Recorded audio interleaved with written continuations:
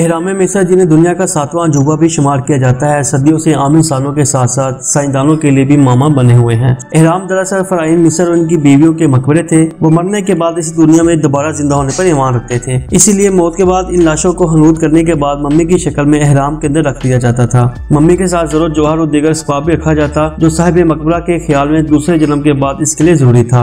हती कि इनके पसंदीदा जानवरों को भी हनूद करके इनके साथ ही रख दिया जाता। एहरामों की तमीर में सैकड़ों हज़ारों टन वजनी पत्थर इस्तेमाल किए गए। इस वक्त तक मिस्र में जो एहराम दरियाफ्त हो चुके हैं, वो दो हज़ार छह सौ सत्तर कबल मसीह से लेकर छह सौ सत्तर कबल मसीह के दौरान तमीर किए गए हैं। ज़ाहिर है जमाने में आज की तरह बड़ी तमीराती मशीनरी मौजूद नहीं थी। इसके बावजूद इंतहाई वजनी देव हैकल पत्थरों की मदद से एहराम तमीर किए गए। तो दोस्तों, आज की इस वीडियो में हम इंसानी ज़िंदगी के सबसे बड़े राज एहराम मिस्र के हक के बारे में बात करेंगे। तो वीडियो शुरू करने से पहले चैनल को सब्सक्राइब कर लें, बेल आइकन को दबा लें और ऑल नोटिफिकेशन को ऑन कर लें, ताकि लेटेस्ट वीडियो आपको मिल सके। एहराम मिस्र की तमीर के बारे में मुख्तु नजरियात पेश किए जाते हैं। इसके अलावा इनकी तमीरत को मारवाई मखलूक का कारनामा भी करार दिया जाता है। मगर माहरीन तमीरत और साइंसदान अब तक वो तरीका नहीं जान सके जो इन हैरत स्ट्रक्चर की तमीर के लिए हज़ारों वर्ष कबल अख्तियार किया गया था। तहम अब साइंसदानों ने वो तरीका दरियाफ्त करने का दावा किया है, जिसके ज़रिए हराम मिस्र की तमीर के लिए दो हैकर पत्थरों की मतलूबा मकाम तक मुंतकली अमल में आई थी। साइंसदानों का कहना है की हरामों की तमीर के लिए पत्थर तराश खराश कर दूर दराज मकाम से लाए जाते थे।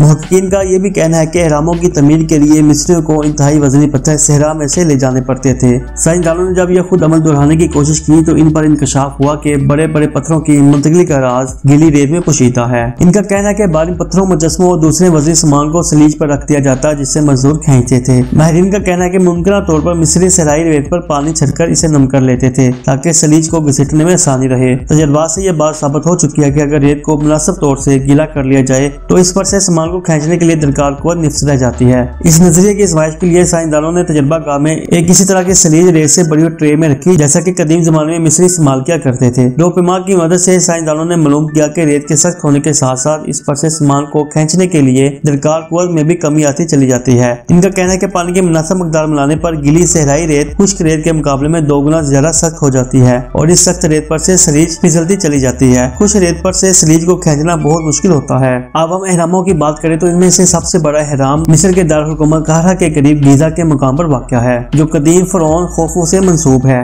माहरीन का ख्याल है की इसकी तमीर में तकरीबन ढाई लाख पत्थर के ब्लॉक इस्तेमाल हुए, जिनमें से हर एक का साइज़ इतना बड़ा है कि दर्जनों लोग मिलकर भी इसे हिला नहीं सकते। इन पत्थरों का औस वज़न दो से बीस टन के दरमियान है और मजीद हैरत की बात यह है कि इन्हें इस कदर सफ़ाई के साथ मुकाब शक्ल में काटा गया है, जैसे ये काम जदीद लेजर के ज़रिए किया गया हो। खोफो के मकबरे की बुलंदी सैकड़ों फुट है और ये तकरीबन तेरह एकड़ के रकबे पर महित है। इब्तदा में इसकी बैरूनी सतह को सफ़ेद रंग के चूने के पत्थरों से डांपा गया था, जिसकी वजह से ये सैकड़ों मील दूर से भी चमकता हुआ नज़र आता था, लेकिन हज़ारों साल की दस वर्त ने सफेदी पत्थर की तय को खत्म कर दिया। माहरीन का कहना है की अगरचे इस सवाल का भी कोई जवाब नहीं मिल सका की हज़ारों साल कबल लोगों ने इतने बड़े और भारी पत्थर सैकड़ों फुट बुलंदी पर इस कदर महारत के साथ कैसे नस्ब किए? लेकिन ये बात भी एक मामला है कि अगर दस बड़े पत्थर भी रोज नस्ब किए जाएँ तो इसकी तमीर के लिए कम से कम छह साल दरकार थे। तो क्या इन हरामों की तमीर सैकड़ों साल जारी रही? इन हराम की तमीर का एक और हैरत अंगेज पहलू नाकबले यकीन, रियाजियाती और फल्कियाती इलम का इस्तेमाल है। जदीद दौर के इंजीनियर्स भी ये देखकर हैरान है कि इस कदर बड़ी इमारत को इस दौर में इतने कामल डिज़ाइन के मुताबिक कैसे बनाया गया। साइंसदान इस बात पर भी हैरान है कि खोफू के मकबरे, खाफरी के मकबरे और कुछ छोटे मकबरों को इस तरह तमीर किया गया है कि यहू बहु आसमान पर पाए जाने वाले सितारों की जुर्मट और